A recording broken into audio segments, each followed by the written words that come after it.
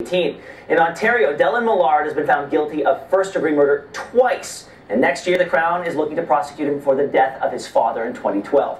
A Toronto actress will also be heading to court in her case against Harvey Weinstein, and the Toronto trust funder Blake Leibel murder trial is expected to get underway in the coming year.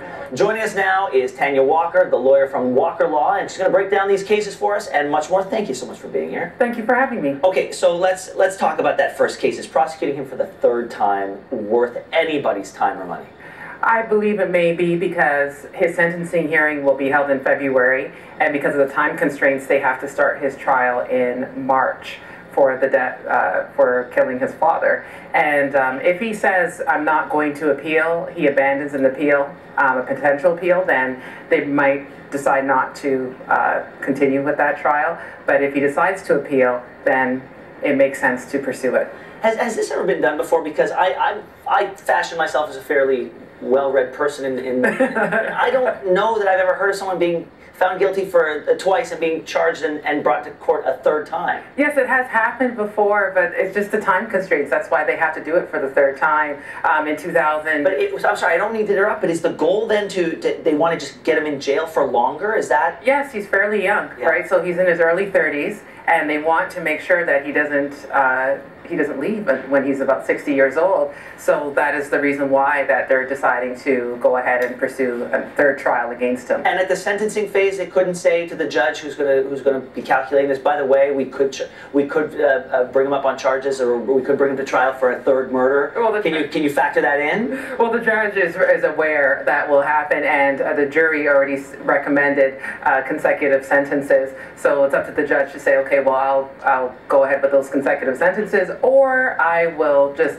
order for them to be served at the same time, mm. so then he'll be out of uh, prison by the time he's 50 or 60 years yeah, old. We don't, we don't want that. All right, let's move on to a, another person who is just no one we would want to have over for dinner. Harvey Weinstein. Yes. Uh, what What is the latest in this case? And the, there's the issue of uh, of someone's identity being kept secret. Yeah. So what has happened in Toronto is that uh, the person that has filed a lawsuit for four million dollars does not want her identity to be revealed. She says that although this has happened to her 20 years ago, that um, there will be some kind of harm to her if uh, mentally if her identity is revealed. So uh, the lawyers for Weinstein, eh, they're going to bring a motion in February to determine that issue. They want her identity to be revealed.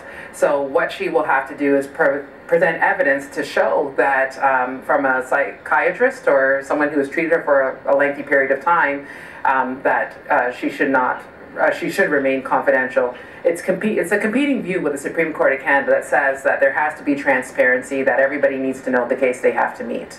All right, what about Blake Leibel? What are, they, what are the details of this case? A little bit gruesome, okay. but his uh, the, he is accused of uh, murdering the mother of his child, who gave birth to his child three weeks uh, prior to oh her murder. Goodness and she bled to death. Oh, okay. And so what has happened here is it's it's kind of eerie because there's a book that he caused to be published called Syndrome. Yeah. So yeah. So he's a comic book writer. Yes. Right. And so and there's something in this book that ties yes. to the murder. Yes. It's a it, it's a re replica of the murder scene. What? Really? Really. So, so that is what is interesting about that, and also that uh, he's accused in California.